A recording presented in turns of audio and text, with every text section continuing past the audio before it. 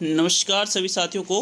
स्वागत करता हूँ सभी का इस यूट्यूब चैनल पर, जिसका नाम study with P N Lohda साथियों, रीट पात्रता परीक्षा 2022 लेवल दो एवं लेवल एक के लिए जो पात्रता परीक्षा है, उसके लिए मैं यहाँ पर हिंदी व्याकरण और शिक्षण विधियों का पेपर नंबर चौवालीस आज आपके लिए लेकर आया हूँ और उसके बाद में जो थर्ड ग्रेड की मुख्य परीक्षा होगी दोनों लेवल की, उसके लिए भी ये टेस्ट सीरीज़ बेहद ही उपयोगी है। साथ ही सेकंड ग्रेड फ़र्स्ट ग्रेड के लिए भी काफ़ी ज़्यादा उपयोगी है। पैंतीस अति महत्वपूर्ण प्रश्न हिंदी व्याकरण और शिक्षण विधियों के हम इस टेस्ट में अटेंड करने वाले हैं। तो चलिए शुरू करते हैं आज के इस वीडियो को। पहला प्रश्न देखेंगे साथियों, आपके प्रश्न संख्या एक। दृश्य श्रव्य सामग्री नहीं है।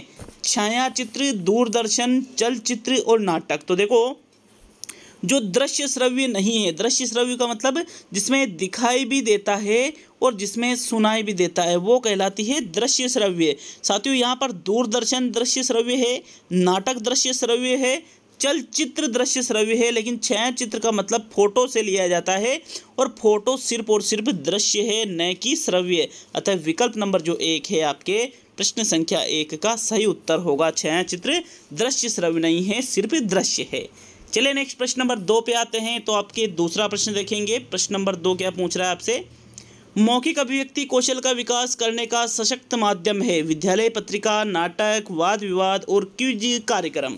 साथियों, मौखिक अभिव्यक्ति कौशल का यदि आपको विकास करना है तो उसका सशक्त माध्यम यहाँ पर क्या रहेगा साथियों? प्रश्न संख्या दो में सही आंसर बताइए। देखिए, नाटक नाटक से तो अभिनय कौशल का विकास होता है विद्यालय पत्रिका या क्विज कार्यक्रम से आप मौखिक अभिव्यक्ति कौशल का विकास नहीं कर सकते हो, बल्कि जो वाद विवाद है, इसके माध्यम से साथियों आप मौखिक अभिव्यक्ति कौशल का विकास कर सकते हो, क्योंकि वाद विवाद मौखिक रूप से किया जाएगा। तो थर्ड विकल्प आपके प्रश्न संख्या दो में सही है। नेक्स्ट प्रश्न नंबर तीन पे आते हैं। तीसरा प्रश्न है आपके भाषा दक्षता का प्रारंभिक कौशल है। सुनना, बोलना, पढ़ना और लिखना। तो जो भाषा दक्षता होती है, इसका प्रारंभिक कौशल। अच्छा भाषा दक्षता के कितने कौशल होते हैं? चार होते हैं। सुनना, बोलना, पढ़ना और लिखना। तो साथियों, अंतिम कौशल तो लिखना है, जबकि प्रारंभिक प्रथम कौशल सुनना है। तो प्रश्न संख्या तीन में आपके जो प्रथम विकल्प है, यही आपका सही आंसर होगा साथियों। चलिए नेक्स्ट प्रश्न नंबर चार पे आते हैं। तो चौथा प्रश्न देखेंगे। भाषा शिक्षक का विशेष अनिवार्य गुण है। विषय का विस्तृत ज्ञान, बाल मनोविज्ञान का ज्ञान, शिक्षण विधियों का ज्ञान और शुद्ध उच्चारण। तो देखो शिक्षक भाषा का है, ठीक है? किसका? लैंग्वेज का टीचर है तो उसका विशेष अनिवार्य गुण यहाँ पर पूछा जा रहा है। साथियों, विषय का विस्तृत ज्ञान, बाल मनोविज्ञान का ज्ञान और शिक्षण विधियों का ज्ञान। तीनों ही चीज़ें भाषा ही नहीं, सभी शिक्षकों के लिए अनिवार्य होती है। लेकिन जो भाषा का शिक्षक होता है, उसके लिए अनिवार्य गुण होगा शुद्ध उच्चारण। अतः यहाँ पर विकल्प नंबर आपका जो चार है, प्रश्न संख्या चार का सही उत्तर है। चलिए नेक्स्ट प्रश्न नंबर पाँच पे आते हैं तो आपके पाँचवा प्रश्न देखेंगे। प्रश्न नंबर पाँच क्या कह रहा है आपसे? उपलब्धि परीक्षण के कितने सोपान होते हैं? एक सोपान, दो सोपान, तीन सोपान और चार सोपान। तो पाँचवें प्रश्न में राइट आंसर बताइए जो उपलब्धि परीक्षण होता है, जिससे हमें ये पता चलता है कि छात्र ने कितनी उपलब्धि हासिल की है। उसके सोपानों की संख्या कितनी होती है? साथियों, पाँचवें प्रश्न में जो राइट आंसर है, वो रहेगा विकल्प नंबर चार। जी हाँ चार विकल्प और इसमें संख्या भी चार ही है उपलब्धि परीक्षण के सोपानों की। कौन कौन से उपलब्धि परीक्षण के सोपान होते हैं? सबसे पहले परीक्षण की योजना बनाई जाती है, उसके बाद पदों की रचना की जाती है, उसके बाद पदों का चयन किया जाता है और सबसे अंत में परीक्षण का मूल्यांकन किया जाता है। तो इस प्रकार से उपलब्धि परीक्षण के कुल सोपानों की संख्या कितनी हुई साथियों? चार हुई। विकल्प नंबर आपका चार सही है, प्रश्न संख्या कौन सा है? ये पाँचवें प्रश्न में चौथा विकल्प बिल्कुल सही है। नेक्स्ट प्रश्न संख्या छः पे आते हैं। तो चलिए छठा प्रश्न देखेंगे आपके प्रश्न नंबर छः निम्न में से कौन सा शब्द तत्सम है? परीक्षा, हाथ, मामा और जमाए तो देखो, तत्सम तद्भव के बारे में वापस मैं बता रहा हूँ कि कमेंट आया था कि सर रीट से तो तत्सम तद्भव को हटा दिया गया था बट रीट के बाद में जो मेन एग्ज़ाम आपका होगा, साथियों, उसमें आपके तस्म तद्भव रहेगा। इसलिए थोड़ी सी तैयारी उसकी भी यहाँ पर होना अत्यंत आवश्यक है, उसके टॉपिकों भी टॉपिकों की भी। तो देखो, हाथ हाथ तद्भव है, जमाई तद्भव है मामा तद्भव है, लेकिन परीक्षा शब्द कैसा है? तत्सम है साथियों। विकल्प नंबर आपका जो एक है, प्रश्न नंबर छः का सही आंसर है। नेक्स्ट प्रश्न नंबर सात को देखेंगे। तो चलिए सातवां प्रश्न देख लेते हैं आपसे। प्रश्न नंबर सात क्या पूछ रहा है? आपके प्रश्न नंबर सात है। निम्न में से स्त्रीलिंग शब्द का चयन कीजिए। विनम्रशील, चावल, पीपल और सुबह। चार विकल्प है, जिसमें तीन तो पुलिंग है और एक स्त्रीलिंग है। उसी स्त्रीलिंग शब्द का आपको प्रश्न संख्या सात में चुनाव करना है। साथियों, चावल अच्छा होता है या अच्छी होती है? अच्छा होता है। मतलब ये क्या है? यहाँ पर पुल्लिंग है। पीपल अच्छा होता है या अच्छी होती है? अच्छा होता है पीपल। मतलब ये भी क्या है? पुल्लिंग। विनम्रशील अच्छा होता है या अच्छी होती है? अच्छा होता है तो ये भी पुल्लिंग। मतलब सुबह शब्द क्या है यहाँ पर? स्लिंग शब्द है, क्योंकि सुबह कैसी होती है? अच्छी होती है। अच्छी होती है मतलब स्लिंग। तो विकल्प नंबर आपका चार सही है। प्रश्न नंबर सात में सुबह शब्द क्या है? एक स्लिंग शब्द है। नेक्स्ट आठवां प्रश्न देखेंगे तो आपके आठवां प्रश्न है। आँख शब्द का बहुवचन होगा। अखियाँ, आँखें, आँखों और अखियाएँ। साथियों, आँख शब्द का आपको बहुवचन बताना है कि इसका बहुवचन क्या होगा। तो देखो, आँख नेत्र शब्द अलग है, नेत्र शब्द अलग है, आँख शब्द अलग है। आँख शब्द का जो बहुवचन है, वो रहेगा आँखें, ना कि आँखों, अखियाँ, अखियाएँ गलत है। विकल्प नंबर आपका दो ही सही है साथियों, प्रश्न संख्या आठ में। नेक्स्ट प्रश्न संख्या नौ की ओर बढ़ते हैं। चलिए, नौवा प्रश्न देखेंगे तो आपके नौवा प्रश्न क्या है? किस वाक्य में क्रिया आसन्न भूतकाल में हुई है। शाम गाना सुन चुका था, माँ खाना बना रही थी, मनोज घर पहुँच गया होगा और राधा के कपड़े सिल गए हैं। तो देखो, आसन्न भूतकाल मतलब क्रिया पूर्ण तो हो चुकी है, लेकिन जो क्रिया है वो अभी अभी पूर्ण हुई है, वहाँ पर होता है आसन्न भूतकाल। तो पहला विकल्प क्या कह रहे हैं? श्याम गाना सुन चुका था। सुन चुका था मतलब क्रिया पूर्ण हो चुकी है, लेकिन बहुत पहले, क्योंकि था शब्द पहले का बोध कराता है। तो फिर ये तो पूर्ण भूतकाल का उदाहरण है। आपको आसन्न भूतकाल देखना है। माँ खाना बना रही थी, बना रही थी मतलब पहले की बात है, अब अभी भी बना रही है या पूरा हो चुका है, इसका पता नहीं है। तो फिर ये अपूर्ण भूतकाल का उदाहरण है। मनोज घर पहुँच गया होगा, संभावना बताई जा रही है। तो ये भी आपका आंसर नहीं है। अर्थात राधा के कपड़े सिल गए हैं। सिल गए हैं मतलब कार्य पूरा हो चुका है और गए हैं। तो अगर ऐसा शब्द आए हैं तो साथियों, वहाँ वो आसन भूतकाल का उदाहरण है, जो निकटता का बोध कराता है। तो विकल्प नंबर आपका जो चार है, नौवे प्रश्न का, सही उत्तर होगा। कौन सा विकल्प? चौथा विकल्प, साथियों। नेक्स्ट प्रश्न नंबर दस पे आते हैं तो आपके दसवा प्रश्न। निम्न वाक्य में से कौन सा जातिवाचक संज्ञा नहीं है? विभिक्षणों से सावधान रहो। गांधी जी ने भारत स्वतंत्र कराया। हम सभी को बुराइयों से बचना चाहिए। दूरियों दूरियों से अपनापन कम नहीं होता। तो देखो, जातिवाचक संज्ञा जिसमें नहीं आपको लग रही है, उसका चयन आपको दसवें प्रश्न में करना है। विभिक्षणों से सावधान रहो। विविक्षणों से मतलब उसकी जो विभिक्षण ने जिस प्रकार से कि भाई ए, किसके पास गया था? विभिक्षण साथियों अपने भाई को छोड़कर श्री राम के पास गया था। तो वो घर का भेदी लंका ढाए उस प्रकार ये चीज़ें विभिक्षण के प्रति की जाती है। अतः ये जातिवाचक है। बुराइयाँ, बुराइयों बुराइयों मतलब बहुवचन, जातिवाचक है। दूरियों, बहुवचन, जातिवाचक है।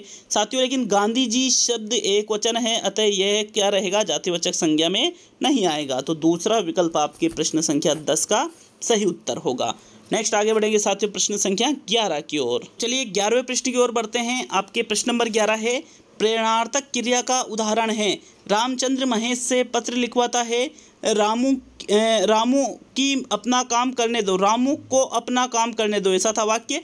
मोहन ने पुस्तक पढ़ी और आप चाय लीजिए। तो देखो, प्रेरणार्थक क्रिया वो होती है, जिसमें कर्ता स्वयं कार्य न करके किसी दूसरे से कार्य करवाता है तो उसको कहते हैं प्रेरणार्थक क्रिया। यहाँ पर जो पहला विकल्प है, रामचंद्र महेश से पत्र लिखवाता है। यहाँ पर रामचंद्र महेश से लिखवा रहा है, खुद कार्य नहीं कर रहा है, दूसरे से करवा रहा है। अर्थात ये किसका उदाहरण है? प्रेरणार्थक क्रिया का। तो विकल्प एक आपके ग्यारहवें पृष्ठ में सही है। नेक्स्ट प्रश्न नंबर बारह। निम्न में से निपात का चयन कीजिए। भी, वह, जहाँ और कोई। तो देखो, निपात। निपात का मतलब बल देने से लिया जाता है, साथियों। जैसे एक शब्द है कि मैं चलूँगा। क्या शब्द है? मैं चलूँगा। अब यहाँ पर एक शब्द, एक वाक्य हो रहा मैं भी चलूँगा। तो ये जो भी शब्द है कि भाई मैं चलूँगा और मैं भी चलूँगा तो ये भी शब्द किसका बोध करा रहा है? बल देने का। मतलब इसको ही क्या कहेंगे? फिर हम यहाँ पर निपात कहेंगे। तो बारहवें प्रश्न में आपके प्रथम विकल्प बिल्कुल सही है साथियों। ये जो भी शब्द है, ये निपात का उदाहरण है। नेक्स्ट प्रश्न नंबर तेरह की ओर बढ़ेंगे तो आपके तेरहवा प्रश्न। नीरस का संधि विच्छेद क्या होगा? नी है प्लस रस, नी प्लस रस छोटी नी प्लस रस और निर प्लस रस। तो बताओ नीरस जो शब्द है, इसका संधि विच्छेद क्या होगा? साथियों, प्रश्न संख्या तेरह में सही आंसर आपको बताना है। तो देखो, तेरहवें प्रश्न का जो सही उत्तर है, वो रहेगा आपके विकल्प नंबर एक। नीरस शब्द का नी है प्लस रस, इसका संधि विच्छेद होगा। साथियों, विसर्ग हटने पर छोटी ई बड़ी ई में बदल जाती है और यहाँ पर विकल्प एक ही सही रहेगा। तेरहवें प्रश्न में नी ही प्लस रस, नीरस शब्द का संधि विच्छेद होगा। नेक्स्ट आगे बढ़ेंगे साथियों, प्रश्न संख्या चौदह की ओर तो आपके चौदहवा प्रश्न देख लेते हैं। प्रश्न नंबर चौदह है, किस क्रमांक में समाज का सही विग्रह हुआ है? हवन सामग्री, हवन की सामग्री, ग्रह प्रवेश, ग्रह में प्रवेश, रणवीर, रण का वीर, सभा पंडित, सभा का पंडित। तो बताओ, प्रश्न नंबर चौदह में कौन सा विकल्प सही है? यहाँ पर जिसका समास विग्रह सही सही हो रखा है, उसका आपको चुनाव करना है। तो हवन सामग्री, हवन की सामग्री नहीं होती है बल्कि हवन के लिए सामग्री। क्या कहलाती है? हवन सामग्री। कर्ता ने कर्म को करण से संप्रदान के लिए, संप्रदान तत्पुरुष का उदाहरण है तो यह गलत दे रखा है। सभा में पंडित होता है, रण में वीर होता है, लेकिन ग्रह प्रवेश ग्रह में प्रवेश बिल्कुल शुद्ध दे रखा है साथियों, दूसरा विकल्प। ग्रह प्रवेश का समास विग्रह ग्रह में प्रवेश ही होता है। तो सेकंड विकल्प आपके प्रश्न नंबर चौदह में सही है। नेक्स्ट आगे बढ़ेंगे साथियों, प्रश्न संख्या पंद्रह की ओर। पंद्रवा प्रश्न है आपके। अविभाव समास का उदाहरण नहीं है, बखूबी, बेशक, आशातीत और आजीवन। तो देखो, अविभाव या तो उपसर्ग आगे लगे होते हैं या उसमें अव्यय जुड़ा होता है या शब्दों की पुनरावृत्ति होती है। वहाँ पर क्या होता है, साथियों? अव्ययभाव समास होता है। तो बेशक उपसर्ग है, आजीवन उपसर्ग है, बखूबी उपसर्ग है आशातीत तो साथियों, आशा से अतीत यहाँ यहाँ पर ये बहुब्रीय समास, सॉरी अविभाव समास का नहीं, बल्कि ये तत्पुरुष समास का उदाहरण है आशातीत शब्द। तो ये अविभाव समास का उदाहरण नहीं है तो तीसरा विकल्प आपके प्रश्न नंबर पंद्रह का सही आंसर होगा, साथियों। चलिए आगे बढ़ेंगे प्रश्न नंबर सोलह की ओर तो आपके सोलवा प्रश्न। किस शब्द में आ उपसर्ग का प्रयोग नहीं हुआ है? आकर, आगमन, आचरण और आराधना। साथियों, प्रश्न संख्या सोलह में कौन सा वो विकल्प है जिसमें आ उपसर्ग नहीं लगा हुआ है? तो चलिए देख लेते हैं विकल्पों को। आ प्लस गमन से आगमन शब्द बना है, इसमें आ उपसर्ग है। आ प्लस चरण से आचरण शब्द बना है, इसमें भी आ उपसर्ग है। तो पहला या चौथा दोनों में से एक रहेगा आपके। सोलहवें पृष्ठ में आ उपसर्ग आराधना शब्द में नहीं है साथियों। आ प्लस राधना नहीं होता है। ठीक है, गलत है ये। आ प्लस राधना, ऐसा कोई टुकड़ा नहीं होता है। तो विकल्प नंबर चार आपके प्रश्न नंबर सोलह में सही है। नेक्स्ट प्रश्न नंबर सत्रह की ओर बढ़ते हैं। चलिए सत्रहवा प्रश्न देख लेंगे आपके प्रश्न नंबर सत्रह। किस शब्द में तन प्रत्यय का प्रयोग सही हुआ है? पतन, वेतन, जतन, पुरातन। तो तन तन तो आपको सभी में दिख रहा होगा बाद में।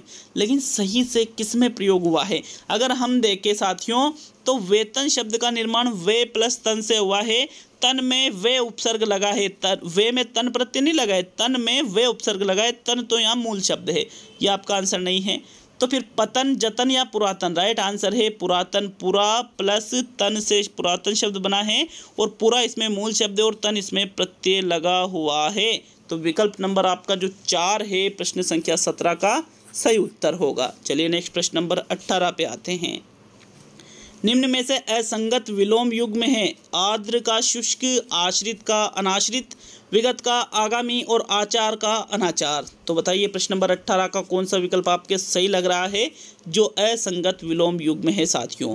आर्द्र का विलोम शुष्क ही होता है, विगत विगत मतलब पिछला आगामी मतलब आने वाला, ये भी सही है।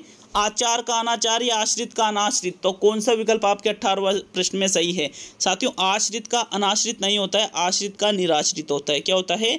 आश्रित का विलोम निराश्रित होता है। तो विकल्प दो आपके प्रश्न संख्या अट्ठारह का सही उत्तर होगा साथियों। ये विलोम युग में क्या है? असंगत मतलब गलत है, बेमेल है। नेक्स्ट प्रश्न नंबर उन्नीस की ओर बढ़ेंगे तो आपके उन्नीसवा प्रश्न। निम्न में से कौन सा जोड़ा गलत है? जो जोड़ा गलत है, उसका चयन करना है। जो भेदा न जा सके, अभेद्य। दूर की बात सोचने वाला, दूरदर्शी। जिसका दमन करना कठिन हो, दुर्दमनीय। इंद्रियों को वश में न रखने वाला संयमी। तो बताओ प्रश्न नंबर उन्नीस में कौन सा विकल्प आपको यहाँ पर गलत लग रहा है, कौन सा जोड़ा गलत लग रहा है साथियों, उसको ही देखना है आपको। तो देखो, जिसको आप भेद नहीं सकते उसको अभेद्य कहेंगे। दूर की बात सोचने वाला दूरदर्शी होता है, जिसका दमन करना कठिन हो उसे दुर्दमनीय कहते हैं। लेकिन इंद्रियों को वश में न रखने वाला संयमी तो नहीं कहलाएगा वो तो इंद्रियों को वश में कर लेता है, संयमी तो। तो विकल्प नंबर जो चार है, ये जोड़ा क्या है साथियों? गलत है प्रश्न नंबर उन्नीस में। यही आपका सही आंसर होगा प्रश्न संख्या उन्नीस का। नेक्स्ट प्रश्न संख्या बीस की ओर बढ़ेंगे। तो चलिए बीसवा प्रश्न देख लेते हैं। निम्न में से मिश्रित वाक्य कौन सा है? इस वर्ष देश में गेहूँ का उत्पादन अधिक हुआ है। जो व्यक्ति यहाँ आया था, उसे पुलिस ने पकड़ लिया। सभी ने उनसे अनुरोध किया, किंतु वह नहीं माना। इधर उधर की बातों में समय नष्ट मत करो। चार वाक्य है। सरल भी हो सकते हैं, संयुक्त भी हो सकते हैं, मिश्र भी हो सकते हैं। अब आपको चयन करना है मिश्र वाक्य का कि भाई कौन से विकल्प में मिश्र वाक्य है। तो साथियों, इस वर्ष देश में गेहूँ का उत्पादन अधिक हुआ, ये एक सरल वाक्य है, न तो संयुक्त ना ही मिश्र। तो ये आपका आंसर नहीं होगा बीसवें प्रश्न में। जो व्यक्ति यहाँ आया था, उससे पुलिस ने पकड़ लिया तो जो से वाक्य आरंभ हो रहा है, बिल्कुल ये मिश्र वाक्य का उदाहरण है साथियों। दूसरा ही विकल्प आपके प्रश्न नंबर बीस में सही है देखो, तीसरे में किंतु से वाक्य जुड़ रहा है, ये संयुक्त का उदाहरण है। सेकंड विकल्प मिश्र का है। तो सेकंड विकल्प आपके बीसवें प्रश्न का सही उत्तर होगा। नेक्स्ट प्रश्न नंबर इक्कीस की ओर बढ़ते हैं। तो चलिए इक्कीसवा प्रश्न देख लेते हैं साथियों। तो आपके प्रश्न नंबर इक्कीस है, यह फ़ाइल प्रबंधक तक पहुंचाओ यह किस आधार पर वाक्य क्या है? मतलब अर्थ के आधार पर, अर्थ के आधार पर यहाँ अर्थ शब्द टाइपिंग मिस्टेक की वजह से छूटा हुआ है। इच्छावाचक, प्रश्नवाचक, संकेतवाचक और आज्ञावाचक। तो देखो, यह फ़ाइल प्रबंधक तक पहुंचाओ। तो प्रश्न तो नहीं किया जा रहा है इसमें, ना ही साथियों, इसमें इच्छा बच्चा इच्छा जताई जा रही है, क्योंकि इच्छा में तो आशीर्वाद, कामना का बोध होता है। संकेतवाचक भी नहीं है, बल्कि यहाँ आज्ञा दी जा रही है, साथियों। तो ये वाक्य किसका है? आज्ञावाचक वाक्य है। अर्थ के आधार पर वर्गीकरण करे वाक्यों का तप। अर्थ के आधार पर वाक्यों के आठ प्रकार होते हैं। चलिए नेक्स्ट प्रश्न नंबर बाईस पर आते हैं। यहाँ फोर्थ विकल्प ही सही है तो चलिए बाईसवा प्रश्न। सांप छचुंदर की गति होना मुहावरे का अर्थ है। दुविधा में पड़ना, बहुत धीमी गति होना, जान लेने के लिए उतारू होना और बहुत ही कठिन कार्य करना। प्रश्न संख्या बाईस का सही उत्तर बताओ भाई। यहाँ पर सांप छचुंदर की गति होना, ये जो मुहावरा है, इसका सही आंसर क्या है? बहुत ही कठिन कार्य करना, जी नहीं, गलत है। जान लेने के लिए उतारू होना, बिल्कुल गलत है। बहुत धीमी गति होना या दुविधा में पड़ना, दोनों में से आपका एक आंसर होगा। तो इसका जो सही उत्तर है, वो रहेगा दुविधा में पड़ना। सांप छचुंदर की गति होना मतलब दुविधा में पड़ना कि क्या करूँ? तो विकल्प एक आपके प्रश्न बाईस का सही उत्तर है। नेक्स्ट आगे बढ़ेंगे साथियों प्रश्न संख्या तेईस की ओर। तो चलिए तेईसवा प्रश्न देख लेते हैं आपके प्रश्न संख्या तेईस। सदा समान रहना लोकोक्ति है। ढाक के तीन पात, न उधो का लेना, न माधो का देना। सावन हरे, न भादो सूखे और बराबर कार्य करना। तो देखो एक लोकोक्ति है, जिसका अर्थ होता है सदा समान रहना। तो उसी लोकोक्ति की पहचान आपको दिए गए विकल्पों में से करनी है। तेईसवें प्रश्न में कौन सा सही रहेगा साथियों? सदा समान रहना मतलब यहाँ पर क्या रहेगा साथियों? प्रश्न संख्या तेईस में तीसरा विकल्प कि सावन हरे न भादो सूखो कि न तो हमारा सावन हरा होता है, न भादवा हमारा सूखा होता है मतलब भाद्रपद, ठीक है? सावन मतलब श्रावण। तो यहाँ पर विकल्प तीन आपके सही है साथियों। देखो तेईसवें पृष्ठ में तीसरा विकल्प सही है, ढाक के तीन पात नहीं है इसका आंसर। तो चलिए नेक्स्ट प्रश्न संख्या चौबीस की ओर बढ़ते हैं। तेईसवें में थर्ड आंसर रहेगा आपके। प्रश्न नंबर चौबीस है, आस्था, श्रद्धा, प्रेम, सहृदयता और संवेदनशीलता के गुण शिक्षण के किस उद्देश्य के अंतर्गत आते हैं? रचना कार्यों में भौतिकता लाना, सदवृत्तियों का विकास करना, भाषा तत्व का ज्ञान प्राप्त करना और साहित्य का रसस्वादन करना। तो देखो, तीन चार चीज़ें दे रखी है। एक तो आस्था एक श्रद्धा, एक प्रेम, एक सहृदयता, एक संवेदनशीलता। साथियों, इनमें रचना कार्य नहीं हो रहा है। ना ही भाषा तत्वों का ज्ञान दिया जा रहा है, न ही रसा रसास्वादन किया जा रहा है, बल्कि ये चीज़ें हमारी सदवृत्तियों, अच्छी आदतों के विकास करने से संबंधित है। तो सेकंड विकल्प आपके ट्वेंटी फोर में सही है। नेक्स्ट ये प्रश्न नंबर ट्वेंटी फाइव की ओर बढ़ते हैं साथियों। तो चलिए प्रश्न नंबर ट्वेंटी फाइव देखेंगे आपके पच्चीसवा प्रश्न। रचना में शब्दों को प्रयुक्त किया जाता है। सुव्यवस्थित रूप में, अभिव्यक्ति के रूप में, भावात्मक रूप में और अभिव्यंजनात्मक रूप में। पच्चीसवें प्रश्न में कौन सा विकल्प सही है? जो हम रचना शिक्षण का कार्य करते हैं, साथियों, उसमें शब्दों को किसमें प्रयुक्त किया जाता है? प्रश्न संख्या पच्चीस का सही आंसर बताइए। तो पच्चीसवें प्रश्न में जो सही उत्तर है वो है अभिव्यक्ति के रूप में रचना में शब्दों को प्रयुक्त किया जाता है। किस रूप में? अभिव्यक्ति। क्योंकि रचना के माध्यम से, रचना शिक्षण का मूल उद्देश्य क्या है? अभिव्यक्ति क्षमता का विकास करना। अभिव्यक्ति क्षमता का विकास करना ही रचना शिक्षण का मूल उद्देश्य होता है और इसमें शब्दों को अभिव्यक्ति के रूप में ही प्रयुक्त किया जाता है। सेकंड विकल्प आपके ट्वेंटी फाइव में सही है। नेक्स्ट प्रश्न नंबर ट्वेंटी सिक्स पे आते हैं। तो चलिए छब्बीसवा प्रश्न। कौन सी व्याकरण शिक्षण की प्राचीन व परंपरागत विधि है? निगमन विधि, आगमन विधि, भाषा संसर्ग विधि, प्रयोग प्रणाली। साथियों, व्याकरण शिक्षण पढ़ाने के लिए हम आगमन विधि का भी प्रयोग करते हैं, निगमन का भी करते हैं, भाषा संसर्ग का भी करते हैं और प्रयोग का भी करते हैं। अब यहाँ पर आपको प्राचीन व परंपरागत इनमें से देखना है। तो छब्बीसवा प्रश्न, आगमन, निगमन प्राचीन विधियों में नहीं आता है। साथियों, दोनों ही गलत है ये तो। ना ही प्रयोग प्रणाली प्राचीन में आती है, बल्कि जो भाषा संसर्ग विधि है, जो भाषा संसर्ग प्रणाली है, यह व्याकरण शिक्षण की प्राचीन व परंपरागत प्रणालियों के अंतर्गत आती है। तो यहाँ विकल्प आपके तीन सही है प्रश्न नंबर छब्बीस में। नेक्स्ट बढ़ेंगे प्रश्न नंबर सत्ताईस की ओर। तो नेक्स्ट सत्ताईसवा प्रश्न। लिखित कार्य में संशोधन की आवश्यकता होती है। छात्रों की वर्तनी सुधारने के लिए, शिक्षक के शिक्षण कार्य की जाँच के लिए छात्रों का उच्चारण सुधारने के लिए और सभी। तो देखो, लिखित कार्य मतलब जो चीज़ें बच्चे लिख रहे हैं, उनमें जो आप संशोधन करते हो, संशोधन की आवश्यकता क्यों होती है? ताकि उच्चारण सुधारे बालकों का, आप जी नहीं, गलत है, क्योंकि लिखित कार्य में उच्चारण कहाँ हो रहा है साथियों? तो ये गलत है तो ये भी गलत है। तीसरा, चौथा तो गलत है। पहला या दूसरा। साथियों शिक्षण कार्य की जाँच के लिए नहीं, बल्कि छात्रों की वर्तनी सुधारने के लिए लिखित कार्य में संशोधन की आवश्यकता होती है। आपके प्रश्न नंबर सत्ताईस में प्रथम विकल्प सही रहेगा। नेक्स्ट, अट्ठाईसवां प्रश्न देखेंगे। तो चलिए अट्ठाईसवें प्रश्न की ओर बढ़ते हैं। वार्षिक योजना प्रमुख रूप से उपयोगी है। शिक्षक के लिए, छात्रों के लिए, अभिभावकों के लिए, विद्यालय के लिए। तो अभिभावकों के लिए तो नहीं रहेगी, ये उपयोगी? तो ये तो गलत हो गया आपका। अब आपके सामने तीन विकल्प है, शिक्षक, छात्र या विद्यालय। तो साथियों, जो वार्षिक योजना होती है, यह शिक्षक के लिए उपयोगी मानी जाती है। क्योंकि शिक्षक ही वार्षिक योजना में ये तय करता है कि हमें वर्ष भर में बच्चों को किस प्रकार से कोर्स पढ़ाना है कौन कौन सी चीज़ें करवानी है। विकल्प एक आपका प्रश्न नंबर ट्वेंटी एट में सही है। नेक्स्ट प्रश्न नंबर ट्वेंटी नाइन की ओर बढ़ते हैं। तो चलिए उनतीसवां प्रश्न देख लेंगे। आपके प्रश्न नंबर उनतीस। भावों एवं विचारों की कलात्मक अभिव्यक्ति होती है भाषा में, रचना में, कविता में और गद्य में। तो देखो, कलात्मक अभिव्यक्ति किसमें होती है साथियों? भाषा में भाव एवं विचारों की। अपने जो भाव है, अपने जो विचार है, इसकी अभिव्यक्ति तो करो, करोगे आप भाषा के माध्यम से, लेकिन कलात्मक अभिव्यक्ति की अगर हम बात करें तो ये गद्य या भाषा में या रचना में या कविता में, इनमें से किसमें होगी साथियों? रचना में। क्योंकि कलात्मक तरीके से हम रचना को ही लिखते हैं। विकल्प आपके दो सही है, साथ ही प्रश्न नंबर उनतीस में। नेक्स्ट प्रश्न नंबर तीस की ओर बढ़ेंगे तो आपके तीसवा प्रश्न किस पद्धति में बालक स्वयं अपना सुधार करता है? अनुकरण पद्धति जेकट आर्ट पद्धति, प्रश्नोत्तर पद्धति और कहानी पद्धति। तो देखो, स्वयं सुधार विधि किसको कहा जाता है? स्वयं संशोधन विधि किसको कहा जाता है, साथियों? आपका आंसर रहेगा जेकाटाट विधि को ही स्वयं सुधार विधि या स्वयं संशोधन विधि के नाम से जाना जाता है।